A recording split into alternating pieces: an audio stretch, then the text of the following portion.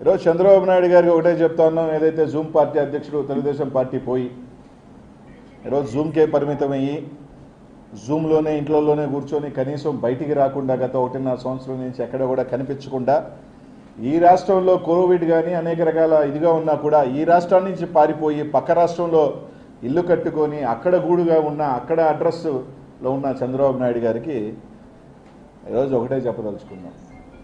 వాస్తవానికి చంద్రబాబు నాయుడు గారు ఈ రెండు సంవత్సరాలలో ఆయన మాన మానసిక స్థితి అని వాస్తవానికి నాకు తెలిసి ఏదో సైకలాజికల్ బిహేవియర్ జబ్బు కూడా వచ్చింది ఈ మధ్య. గతంలో కూడా ఉండింది ఇప్పుడు బాగా ముదిరింది.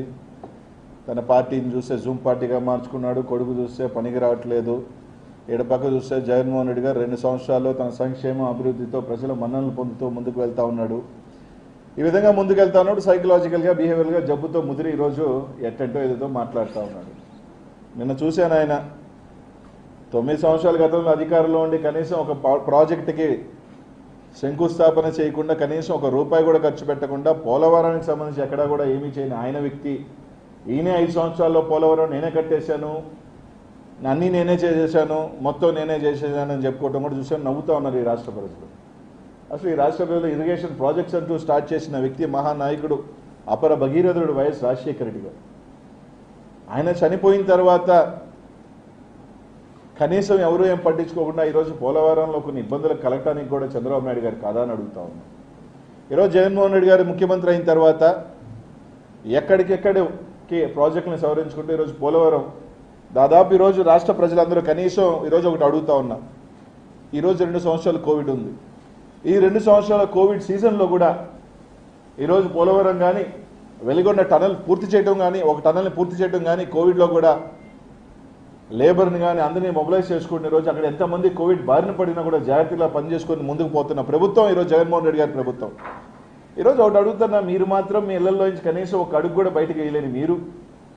గత రెండు నెలల నుంచి అప్పుడు ఆరు నెలలు ఇప్పుడు గత రెండు నెలల నుంచి ఇంటికే పరిమితం అయిపోయి బయటికి కూడా రాలేని మీరు ఈరోజు ప్రభుత్వం దగ్గర నుంచి ప్రభుత్వ యంత్రాంగం దగ్గర నుంచి ఆర్థిక భారతదేశంలోనే ఆర్థికంగా కూడా కుదిరి ఇదైనా కూడా ఈరోజు తీసుకుంటే సౌత్ ఇండియాలోనే ఆంధ్ర రాష్ట్రం ఆర్థికంగా కూడా మిగతా రాష్ట్రాల్లో కన్నా పురోగతి చెందిన మాట వాస్తవం కాదని అడుగుతా ఉన్నాం. ఈరోజు భారతదేశంలోనే మూడో స్థానానికి ఈరోజు జగన్మోహన్ రెడ్డి గారి ప్రజాదరణ కావచ్చు ఆయన చేస్తున్న పనుల మీద ర్యాంకింగ్ కావచ్చు ఈరోజు మూడో స్థానంలో జగన్మోహన్ రెడ్డి గారు ఉన్నమాట. వాస్తవం కదా? పద్నాలుగు సంవత్సరాలు ముఖ్యమంత్రిగా ఏ రోజైనా నువ్వు లేని నువ్వు ఈరోజు ముఖ్యమంత్రి గారిని విమర్శిస్తా ఉన్నావు. ఈరోజు ఇరిగేషన్కి సంబంధించి కూడా చూస్తే ఈరోజు జగన్మోహన్ రెడ్డి గారు ఒక పద్ధతి ప్రకారం ప్రతి ప్రాంతానికి ఏ విధంగా అభివృద్ధి చేసుకోపోవాలి రాష్ట్రానికి సమూలంగా ఆ రోజు పోతిరెడ్డి వాడిని పదకొండు వేలని నలభై నాలుగు వేలు చేసిన ఘనత రాజశేఖర రెడ్డి గారిది అయితే ఈ రోజు దాన్ని ఎనభై వేలకు పెంచుతుంది సామర్థ్యాన్ని పెంచి రాయలసీమ ముఖ్యంగా నెల్లూరు ఈ ఐదు జిల్లాలకి ఉపయోగపడే విధంగా దాన్ని పెంచడం జరుగుతూ ఉంది. ఉత్తరాంధ్ర సోషల్ సెవెంటీ రెండు ఫేసుల్ని పిలవటం టెండర్లు పిలిచాం. హెచ్ఎన్ఎస్ఎస్ అనంతపూర్కి దాన్ని పెంచుతూ టెండర్లు పిలవబోతా ఉన్నాం. ఈరోజు ఐదు ఎస్పీవీస్ కృష్ణ గోదావరికి సంబంధించి బ్యారేజెస్ కట్టి అక్కడ స్టోరేజ్ పెంచబోతా ఉన్నాం. ఈరోజు అన్ని ప్రాజెక్ట్స్ని దాదాపు యాభై అరవై వేల కోట్లకి ఈరోజు పిలవటం జరిగింది. ఎస్పీవీస్ని ఆర్గనైజ్ చేసి ఈరోజు రాష్ట్రం మొత్తం కూడా ఒక ఆర్గనైజ్డ్ ప్యాటర్న్గా ఈరోజు జగన్మోహన్ రెడ్డి గారు ఈరోజు ఇరిగేషన్ ప్రాజెక్ట్స్ కానీ సంక్షేమం దాదాపు తొంభై ఐదు వేల కోట్ల పైగా ఈ రాష్ట్ర ప్రజలకు నేరుగా ఒక దళారీ వ్యవస్థ లేకుండా ఎక్కడా ఒక కరప్షన్ లేకుండా ఎవరు మధ్యవర్తి లేకుండా ఒక సెక్రటేరియట్ వ్యవస్థతో నేరుగా ఈరోజు ఇచ్చే వ్యవస్థని ఈరోజు తీసుకొచ్చి అభివృద్ధి చేస్తున్న వ్యక్తి జగన్మోహన్ రెడ్డి గారు కాదా? నాలుగు లక్షల పైచీలకు ఉద్యోగాలు ఇచ్చిన వ్యక్తి జగన్మోహన్ రెడ్డి గారు కాదా అని అడుగుతాం.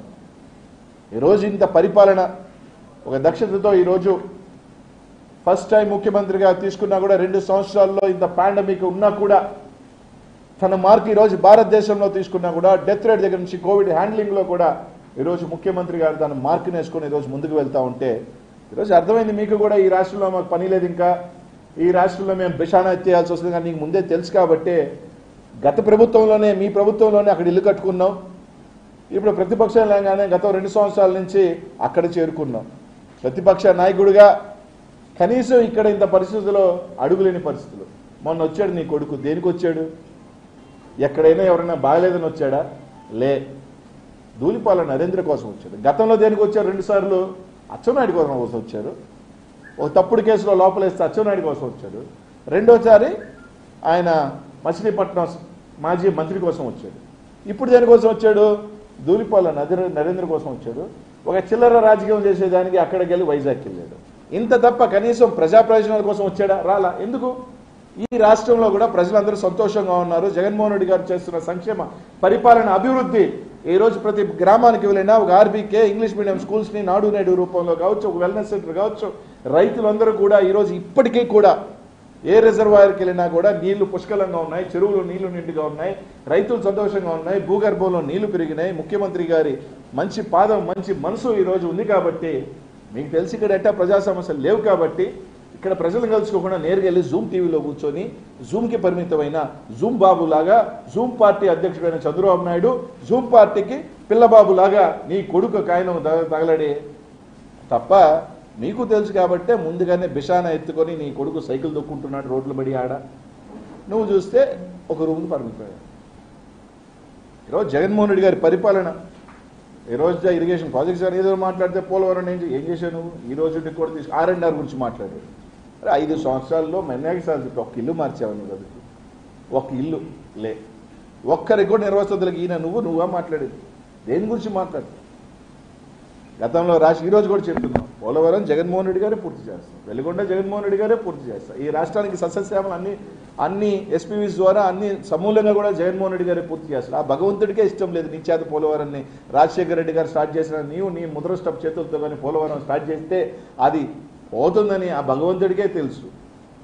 కాబట్టే ఎవరు మొదలు పెట్టారో ఆయన బిడ్డ జగన్మోహన్ రెడ్డి గారు ఈరోజు పది మళ్ళీ వచ్చి ఆయన పూర్తి చేస్తాడు. ఇది భగవంతుడి సంకల్పం. ఎంతమందికి వస్తుంది? ఒక జీవనాడిగా అనుకున్న ఒక పోలవరం ప్రాజెక్టు తండ్రి మొదలు పెడితే ముఖ్యమంత్రిగా బిడ్డ ముఖ్యమంత్రిగా కంప్లీట్ చేసే భాగ్యం ఈ భారతదేశంలో ప్రపంచంలోనే ఈ ఘటన అరుదు.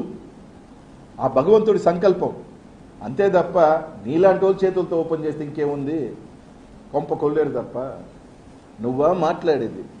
రైతుల గురించి కానీ ఈరోజు ఆయన చేస్తున్న ఈరోజు సంక్షేమం చూసినా కూడా ఇన్సూరెన్స్ కానీ క్రాప్ ఇన్సూరెన్స్ కానీ టెన్షన్గా రైతులకి రైతు భరోసా తాను ఇచ్చిన మాట ప్రకారం ఇచ్చే ఇది కానీ ఇన్పుట్ సబ్సిడీ కానీ ఈరోజు పిల్లలకి సంబంధించి కార్యక్రమాలు చూసినా కూడా అమ్మఒడి దగ్గర నుంచి స్కూల్స్ని ఏ విధంగా చేయాలా పోషణ దగ్గర నుంచి అనేక కార్యక్రమాలు ఈరోజు చేస్తున్న జగన్మోహన్ రెడ్డి గారిని మీరు జీవితాంతం ఆ జూమ్కే పరిమితం వల్ల ఇంకా మంచి పని ఏంటంటే ఎలాగో చంద్రబాబు నాయుడు మీ కార్యకర్తల్ని మీ నాయకుల్ని జూమ్లో పని చేసుకున్నారు కాబట్టి ఆ జూమ్కి నువ్వే ముఖ్యమంత్రిని నువ్వే ఒక నూట డెబ్బై ఐదు మంది మీ శాసనసభ మీ వాళ్ళు మీరు కుప్పాంకి జూమ్ పార్టీ నుంచి ఆయన ఒక ఎమ్మెల్యే అనుకొని మీరే ఒక పరిపాలన వ్యవస్థని మీ హెరిటేజ్ అధికారులు మీ హెరిటేజ్లో ఉన్నారు కదా మేనేజర్లు సీఈఓలు వీళ్ళని కూడా వాళ్ళని దీనికి ఐఏఎస్ ఈయనని దానికి ఐఏఎస్ ఆయనని దీనికి ఐఏఎస్ అని అధికారులు పెట్టి మీటింగ్లు పెట్టుకొని ప్రశాంతంగా నీ లాస్ట్ స్టేజ్ ఇయర్స్ అంటే రిటైర్ అయిపోయిన తర్వాత ప్రశాంతంగా సేద తీర్చుకుంటూ వృద్ధాప్యంలో నువ్వు ఆ విధంగా నేను ఒక ముఖ్యమంత్రిని అనుకొని ఆ విధంగా వీళ్ళందరినీ పెట్టుకొని హ్యాపీగా వృద్ధాప్యంలో జీవించమని చెప్పి తెలియజేస్తున్నా. ఈ రాష్ట్రం ముఖ్యమంత్రి జగన్మోహన్ రెడ్డి గారి చేతుల్లో పదిలంగా ఉంది. ప్రజలు సంతోషంగా ఉన్నారు. దాదాపు ఎనభై శాతం మంది ప్రజలకు ఈరోజు జగన్మోహన్ రెడ్డి గారు నేరుగా ఇచ్చే సంక్షేమం. కొంతమందికి ఒక సంక్షేమ పథకం అందింది కొంతమందికి ఇద్దరికి అందింది కొంతమందికి నలుగురికి అందింది. ఈరోజు ప్రతి ఒక్క సంక్షేమం నేరుగా వెళ్తూ ఉంది ఈరోజు ప్రజలు. అభివృద్ధి ఒక పక్కన రేపు జగన్మోహన్ రెడ్డి గారు ఈరోజు పేపర్లో చూసాం. పదహారు మెడికల్ కాలేజీలని రేపు శంకుస్థాపన చేయబోతా ఉన్నారు జగన్మోహన్ రెడ్డి గారు. మెడికల్ వ్యవస్థని ఈ రాష్ట్రంలో కొత్త రూపు తీసుకొస్తా ఉన్నారు జగన్మోహన్ రెడ్డి గారు. ఈ విధంగా అనేక రకాల మంచి అది ఇరిగేషన్ అయినా హెల్త్ అయినా ఎడ్యుకేషన్ అయినా అగ్రికల్చర్ అయినా ఏ ఒక్క దాంట్లో తీసుకున్నా తన మార్క్ని ఈరోజు ముందుకు వెళ్తున్న ముఖ్యమంత్రిని ఈరోజు ఆడు కూర్చొని జూమ్లో కూర్చొని ఆహా ఓహో తానా తందానా తప్ప ఆడికి పరిమితం అయిపోయింది అప్పుడప్పుడు తులుక్కని మీ వాళ్ళు చేసే తప్పుడు పనులకి జైలు బారిన పడితే వచ్చి పరామర్శించుకోండి. ఎందుకంటే మీరు చేసే తప్పుడు పనులకి తప్పుడు వ్యవహారాలకి అరెస్ట్ చేస్తే గగ్గోలు అంటారు. ఏం లేదంటే పీకలేదంటారు ఏం పీకలేదు? ముగ్గురు చేశారు తప్పుడు పనులు ముగ్గురు పోయి పోయి ఊసలు లెక్కెట్టారు ఊసలు లెక్కెట్టిన తర్వాత మళ్ళీ వచ్చి "ఆ, ఇట్లా అంటారు. ఎంతవరకు తప్పుడు పని చేసినా ఎవరైనా పోతారు. కాబట్టి ఈ రాష్ట్రం రెండు రోజుల పాటు మీ మహానాడు ప్రజలందరూ కూడా చూస్తున్నారు. ప్రజలు మీరు ఎంతవరకు ఇది ఉన్నారు మన తిరుపతి ఎన్నికల్లో కూడా చూసాం గతం కన్నా మెజారిటీ పెరిగింది. లోకల్ బాడీ ఎన్నికల్లో చూసాం ఇంకా ఏంటి? ఇంకా మీరు యాడున్నారు అసలు. మీ పార్టీ యాడ్ ఉంది. మీ పార్టీకి ప్రజా సమస్యలు లేక తప్పుడు మాటలు తప్పుడు గొంతులు రెండు ఛానళ్ళు పెట్టుకొని దాంట్లో ఒకటి రాసుకుంటూ భజన చేసుకుంటూ దానికి రెండే ఆ రెండు ఛానల్లోనే రాసిందే రాసింది తా అంటే తందన్న తా అంటే తందన్న అని పెట్టుకొని ఈరోజు ఎల్లో ఫంగస్ లాగా బ్లాక్ ఫంగస్ చూసాం వైట్ ఫంగస్ చూసాం. వీళ్ళు అంతకన్నా ప్రమాదకరమైన ఫంగస్ వీళ్ళు. కరోనా కాదు కదా కరోనా బాబాలు కరోనాల కన్నా అతికన్నా దారుణమైన ఇంకో ఎల్లో ఫంగస్ కన్నా దారుణంగా తయారయ్యి ఈరోజు ఈ రాష్ట్రాన్ని రాష్ట్ర ప్రజల్ని ఈరోజు ప్రశాంతంగా ఉన్న జగన్మోహన్ రెడ్డి గారు ముఖ్యమంత్రి గారి పరిపాలనలో బాగున్నారని చెప్పి తెలియజేస్తుంది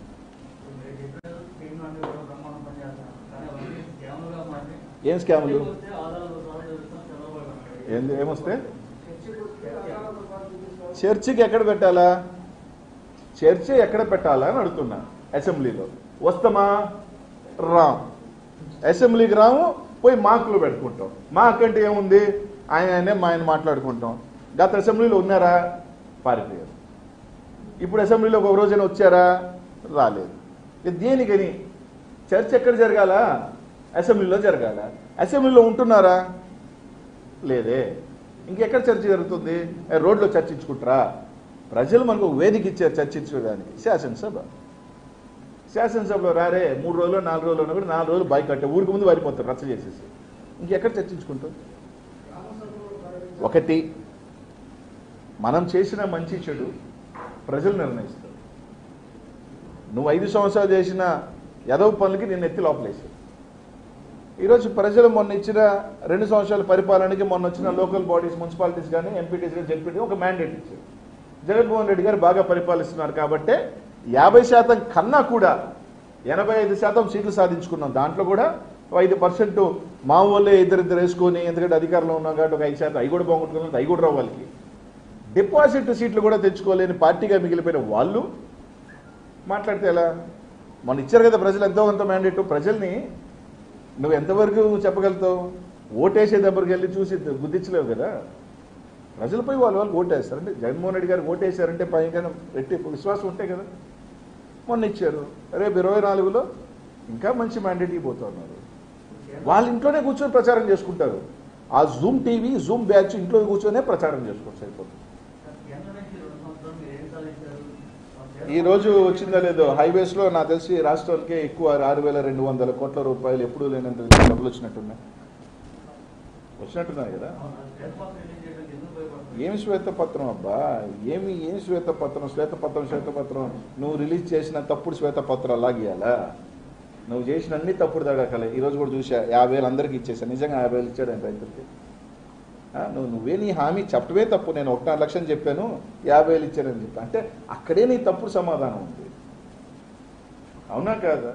ఈరోజు రోజు అడుగుతున్న జగన్మోహన్ రెడ్డి గారు ఇచ్చిన రెండు పేజీల మేము బైబిల్గా భగవద్గీతగా కురాన్గా భావించగా భావించే ఒక మేనిఫెస్టోలో తొంభై శాతం మేము పూర్తి చేసిన మాట వాస్తవం కాదని అడుగుతా ఉన్నా. మీకు కూడా చెప్పారు చేస్తున్నారు జర్నలిస్టులు కూడా జగన్మోహన్ రెడ్డి గారు. ఎవరికి చేయలేదబ్బా? జగన్మోహన్ రెడ్డి గారు ఎవరికి తను ఇచ్చిన మాటని ఇంకా ఎక్కువ తను చెప్పిన దానికన్నా కూడా ఎక్కువ చేస్తున్నమాట వాస్తవం కాదని అడుగుతా ఎందుకు మా మా ఎంపీలు మాట్లాడుతూ ఉన్నారు కదా? మా ఎంపీలు మాట్లాడుతూ ఉన్నారు కదా? ఇప్పుడు నువ్వు అభివృద్ధి అన్నావు. అది నువ్వు వస్తుందబ్బా ఫైట్ చేస్తున్నారు ఎంపీలు ఫైట్ చేస్తారు అదన్నీ కూడా ప్రక్రియ. రెండు సంవత్సరాల నుంచి మేము అందరూ కూడా చూశారు. ఇంత కోవిడ్లో ఉన్నా కూడా కోవిడ్ సాకు చెప్పు. జగన్మోహన్ రెడ్డి గారు ఏ పథకం ఆపలా? స్కూల్ ఉన్నా లేకపోయినా తను ఇచ్చిన మాట ప్రకారం అమ్మ ఓడిస్తున్నాడు పంట వేసినా కొంతమంది ఎక్కడ ఉన్నా లేకుండా రైతు ఇస్తున్నాడు అమ్మ ఒడి ఇస్తున్నాడు ఈ పథకం ఆ పథకం కోవిడ్ ఉంది.